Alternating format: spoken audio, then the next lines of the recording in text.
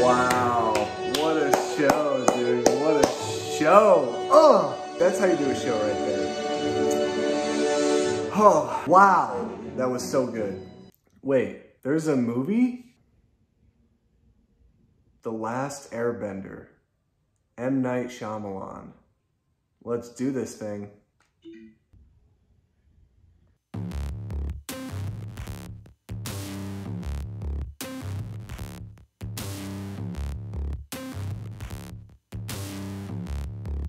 Over the last month, my wife and I have been watching Avatar The Last Airbender. This is a series that I watched when I was younger, but I didn't remember necessarily all of it. And I gotta say, I really loved this show. The show has so much scope and depth. The characters are so dynamic. And the show is not just about Avatar Aang, but it's also about the supporting characters around him and their struggles and their individual journeys to help him in his quest to take away the power from the Fire Nation and bring the world peace. And so really, this isn't even going to be a comparison because we already know how this comparison is going to play out, right?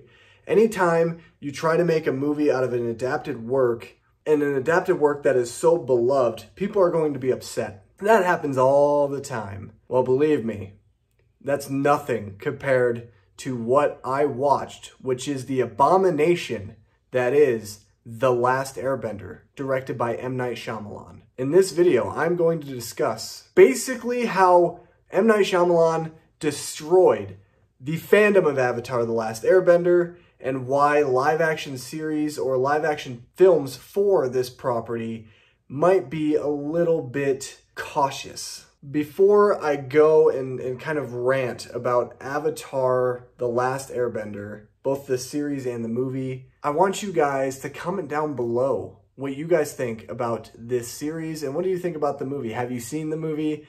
I suggest you don't see it because it is honestly one of the biggest piles of garbage I have ever seen in my life. And I've seen a lot of piles of garbage. Look, I watched LaQuisha last year, okay? And at least LaQuisha, well, I can't even say anything good about LaQuisha. LaQuisha is a really bad example, okay? Okay, I watched The Grudge this year. The Grudge is a movie that is so lazy, but at least it's something.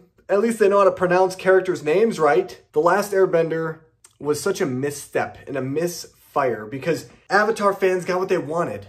They got a movie, a live action film where we can finally see our favorite characters. You know, Aang, Sokka, Katara, Appa, Momo, Zuko, Iroh. And what did we end up getting? We got Aang, Iroh, and Sokka. That's what we got. I didn't mispronounce these names. This is how they were used in the film. This film is an absolute slap across the face to every fan of the series. M. Night Shyamalan had no business directing this movie. This movie had no business being made this was at a time when Paramount and Nickelodeon were trying to make as much money as they possibly could, and they saw a possible franchise with something that is so beloved and has such a big following around it, like Avatar The Last Airbender, which for the last couple of weeks since it's been on Netflix, it's been in the top five of trending programs on Netflix. And it has so many people streaming it. I mean, this show is at a renaissance right now for people who had never gotten the experience as a kid of watching the show. Because I remember the show being on Nickelodeon.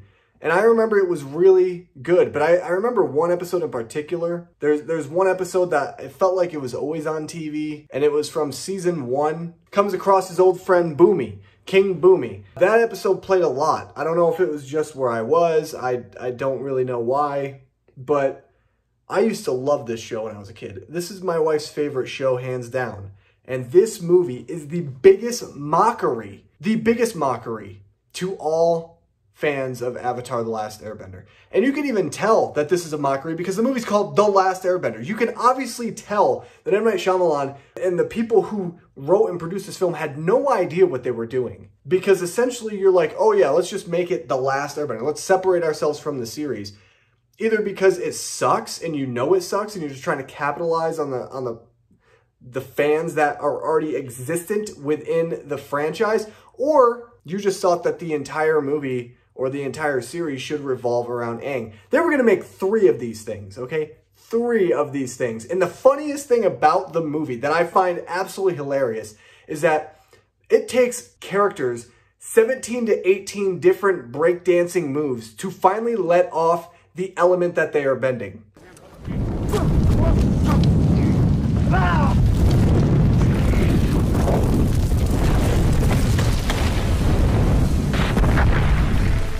It is the most hilarious thing I've ever seen in my life. It's pitiful. And then when they do let off the element, say it's fire, it's like barely any fire and it's slow. It is the slowest fire in the world. You have like minutes to run away and get out of the situation. You don't even have to bend anything in order to, you know, break this fire down. You can run away from this fire. It is so laughable. It is pitiful.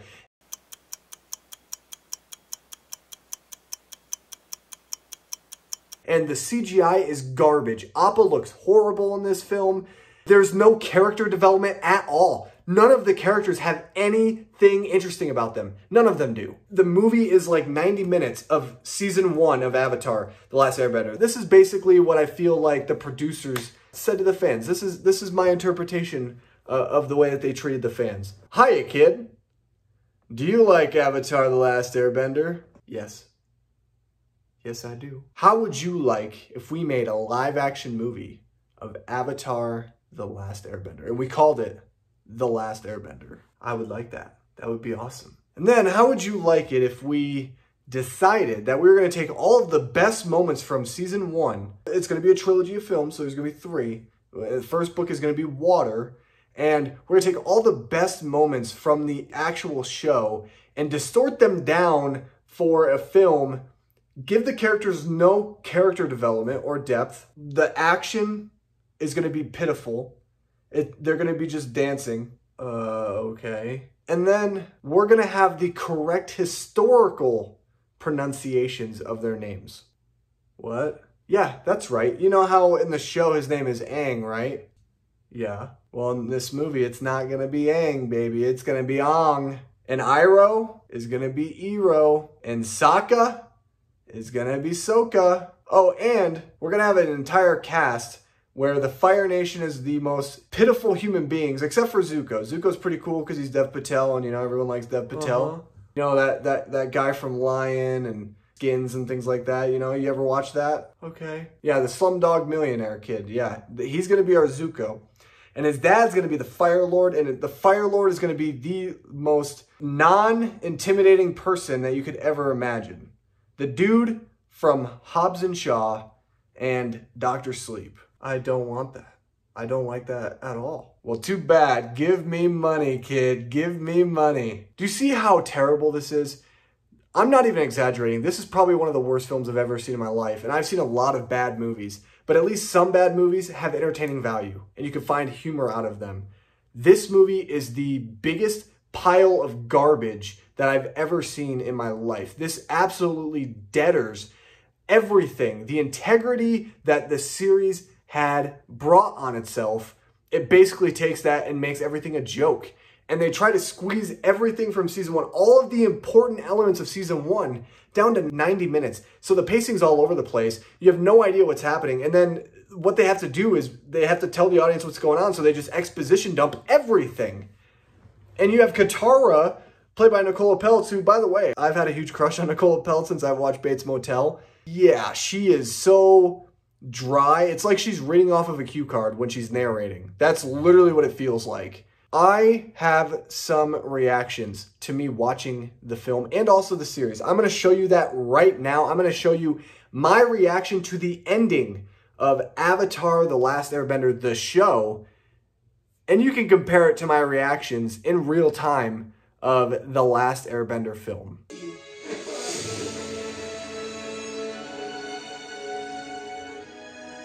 I love Uncle Iroh. You forgive me so easily. I thought you would be furious with me. I have goosebumps. Angry with you. I was sad because I was afraid you lost your way. I did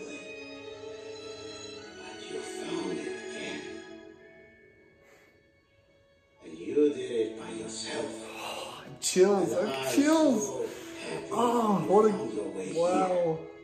Awesome reunion. Bullseye. I know, Crow, you. Oh, man. What are you waiting for? Do it! Look who's here, baby. Let's go, let's go, baby. But you're not going to become Fire Yeah. Yes, he is. You're hilarious. Let's get her, Zuko. Yeah! Oh! Wait. Oh, I hate him. What's he gonna do? What's he gonna do? Oh no. What?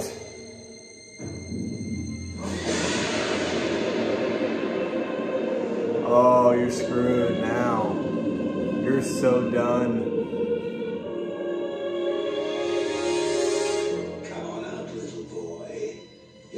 You're about to meet you're screwed. You can't use it to hurt or threaten anyone else ever again. Dude, what an ending! Oh my gosh, that's incredible! Oh my gosh. Woo! What a show.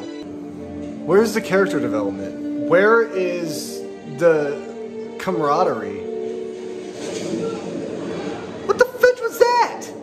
That was like the most delayed attack I've ever seen for firebending. They were looking for Soul, the same markings the boy had. They dragged Mom away the same way when we were babies. She wouldn't have stood and watched us being taken away. She would have fought. What is this crap? It's our responsibility. We should fight. Would you mind if I put a few things in front of you? Who's this dude? It will only take a moment. This is not Uncle Iroh. So what do you want? He doesn't even look I like know you Uncle see. Iroh. I need What? Ero? Are you mind? Are you gonna try to stop Dude, screw you, M. Night Shyamalan. Screw you. How, how could you do this? How, how- like, seriously, was this a joke to you?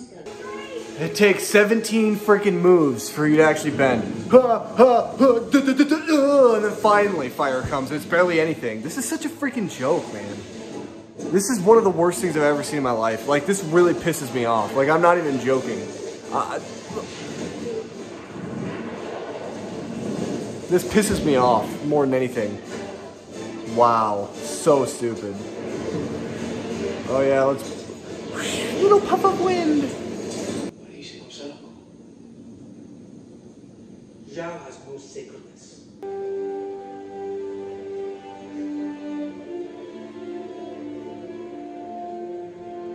So there. That's all I wanted to say. I want to say my piece because this is the biggest disgrace I have seen to a franchise and something so beloved for audiences everywhere I think I've ever experienced. Yeah, I mean, we've had a lot of interesting Star Wars movies, The Phantom Menace and Attack of the Clones, but at least, at least they understood the fans to some degree. Yes, we had Jar Jar Binks, but at least there were some cool redeeming things about those movies, like Duel of the Fates and Phantom of the Menace. And Episode 2, Attack of the Clones, even though the romance didn't work and it was a little awkward, at least we got what we wanted in seeing Padme and Anakin falling in love with one another, even though it was pretty forced. But this has nothing redeeming about it. If you want to watch Avatar The Last Airbender, watch the show. Watch the show because this movie, just to me, just doesn't exist. I will never watch this movie again, ever in my life. This is the biggest misfire and misstep I've ever seen. And the fact that they had planned to make two more of these garbage films is astonishing to me. I am so happy, though, that they pulled the plug. They realized just how bad these movies were and that the fans weren't going to accept this crap because that's what it is. It is absolute crap. Anyway, guys, what did you think of Avatar The Last Airbender or even the film The Last Airbender and were you able to get through it? Let me know down below in the comment section of this video. Make sure you guys drop a like on the video if you enjoyed it. Subscribe to my channel for more content just like this. And as always, I'll see you guys in my next video. Stay safe.